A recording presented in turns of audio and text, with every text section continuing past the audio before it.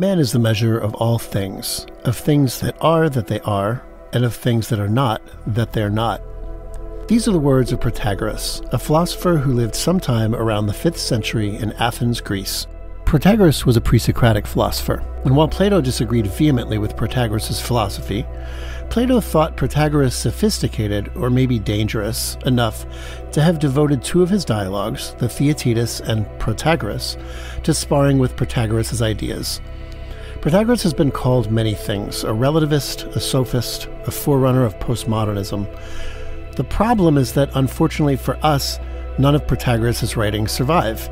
The only account of what we have of his philosophy are second-hand accounts, mostly by Plato, but also by the skeptical philosopher Sextus Empiricus and the biographer Diogenes Laertius.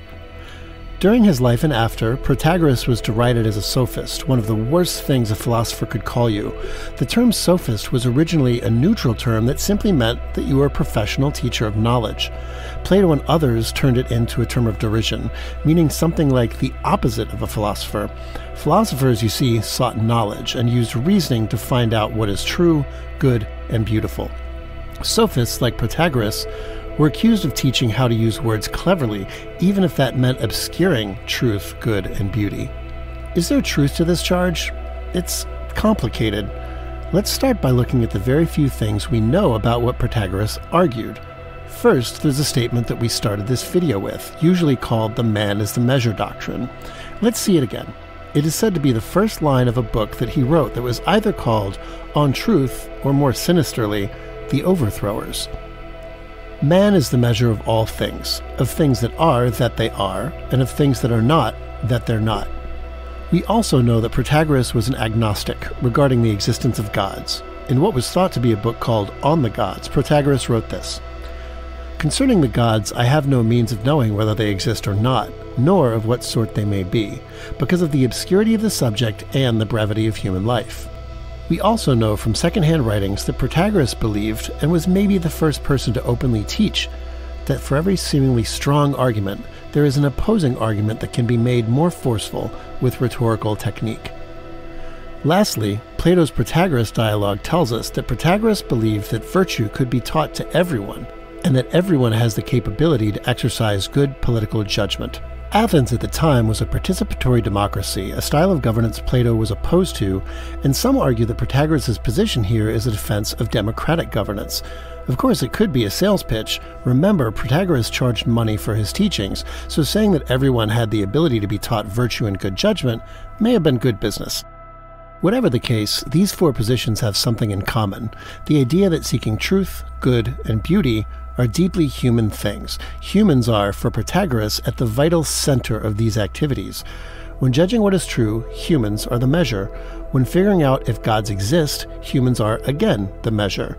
When deciding what positions to believe, how humans argue their respective cases has a central effect. When deciding what is just and right, it is the opinion and judgment of humans that count.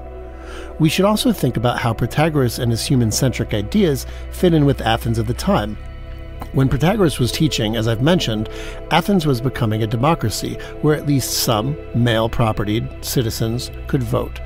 And instead of powerful elites making decisions for the people, people were increasingly allowed to give and listen to speeches so that each could try to persuade others of what the correct course was. One thing Protagoras sold, what led Plato to claim him a mere sophist, was the ability to learn how to persuade others. That was antithetical to the approach of Plato and after him Aristotle. Despite their differing methods of getting there, for Plato and Aristotle, truths were out there waiting to be discovered. One argued in order to discover human independent truths, and the better argument was better because it was true. In a sense, Protagoras flipped this equation. Rather than truth being the object of inquiry, it was the product of inquiry. Rather than an argument's strength coming from the fact that it had truth on its side, the argument we could make the most persuasive becomes the one we call true. Truth isn't found, it's made. Let's think of the matter this way. Imagine that you and I are having an argument about something that seems like a matter of identifiable fact, maybe whether vaccines inoculate against disease. You say they do, I say they don't. We argue about it, and let's say that neither of us is convinced by the other. The most tempting course is to say that one of us are wrong. There is a true answer to this question, and one of us has it while the other only thinks they do. Protagoras seems to be saying that what we really have is two people with differing opinions we probably equally believe to be informed and correct. If that description seems silly, it's probably because we want to say that in reality, only one of those positions about vaccines is correct. Vaccines do what they do, inoculate against disease or not, and what they do is independent of people's opinions. The problem, and it is a subtle one, is that what reality will show is precisely what's in dispute. You think it will vindicate you, and I think it will vindicate me. If one of us turns out wrong in our prediction, it will have to come through us being convinced of that. The world and its happenings are often open to interpretation. What you tell me is a pro vaccine scientific consensus, I might interpret as a well oiled conspiracy or the ramblings of untrustworthy elites. And what I interpret as renegade scientists who bravely speak anti vax truth to power, you might interpret as idiosyncratic misfits exercising flawed reasoning. Yes, either vaccines work or they don't. But invoking the truth that is not relative to our belief in it is to invoke precisely what is in dispute and precisely what neither of us have real access to. And what matters is not to be able to tell the other that your position is true, but to get them to believe that your position is true. In a very real and important way, the only way to make your position true for them is to convince them of it. Truth comes by way of opinion. Another way to think about this is to think about what happened when vaccinology first came about. Those who believed that exposing bodies to weakened versions of a disease could inoculate against disease had to demonstrate that this was so to the satisfaction of others. We could say that they came across a truth that was true even before others were convinced, but convincing others, and really a critical mass of authoritative others, is the reason we call this theory true. Humans were the measure, as they always are, and even if you're convinced that vaccines do inoculate against disease, that this is true regardless of people being convinced by it, you have to admit that truths no one believes to be true are nothing short of useless. Truths only become useful as truths when people believe they are true. Let's pause here to think about an important ambiguity in Protagoras' doctrine the word man. Aside from the gender exclusivity typical of writing at this time, he doesn't indicate whether man is singular or plural. Does he mean that every person is their own measure of truth? Or does he mean that humankind as a collective decides the truth? If the former, he would mean that whatever individuals believe about the efficacy of vaccines is true as far as they are concerned.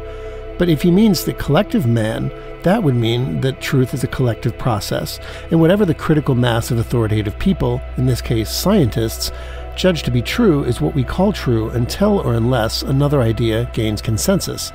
The fact is that we don't have enough of Protagoras' writings to know which of these he has in mind, and scholars are mixed on the issue. I'd like to think that in some way we can mean man both as singular and plural. Look at the marketplace. In an important way, the prices of goods and services are decided by the results of collective processes of supply and demand. But I can still decide the price I am willing to pay for something. Even though the market says that a good is worth a certain price, I can still decide that it's not worth that to me. Can truth work the same way on an individual and collective level? Maybe science, for instance, is a collective process where scientists decide what understandings of the world to call true. But while we should all take into account what experts believe is true, we are all obviously still the individual measures of whether we buy their consensus or whether we think the truth lies in another direction.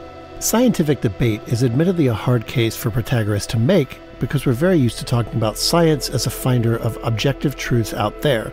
So let's turn to a different discussion, one about whether a particular work of art is beautiful. You say it is, and I say it's somewhere between meh and hideous. I think here most of us will readily grant that whatever we're talking about, we're not tracking a quality of beauty that exists somewhere in the piece of art waiting to be objectively discovered. Especially when we disagree about such a piece, it becomes plausible that beauty is some sort of interaction between the art and us, and that humans are the measures of beauty. Beautiful is the way you describe your appraisal of the work, not an objective feature of the work itself. And when we disagree about the work's beauty, it can be the case that the work is both beautiful beautiful and not that whatever the person experiences as beautiful is for them beautiful, with no arbiter of beauty above the human one. If the man is the measure doctrine seems more plausible when it comes to art, we can ask why it seems less plausible when it comes to science. Beauty is evaluation, but isn't truth also evaluation? To say that something is beautiful is akin to saying that I or we experience the thing in a certain way. Well, that's how Protagoras, I think, views talk about truths. To say that a belief is true can't be anything more than to say that I or we judge it to be true. We affix the word true to it, not because we have accessed the world beyond ourselves and our belief indeed corresponds with this world. It is because we have used our very bounded and concrete and human experience to judge that belief X is reliable enough to call true. And that means, at least potentially, that when different people make different judgments about what is true, there is nothing beyond judgment we can use to adjudicate that dispute. Now, we'll get to some of the objections to the man as the measure doctrine in a subsequent video, but I should say that there are several things Protagoras is not saying.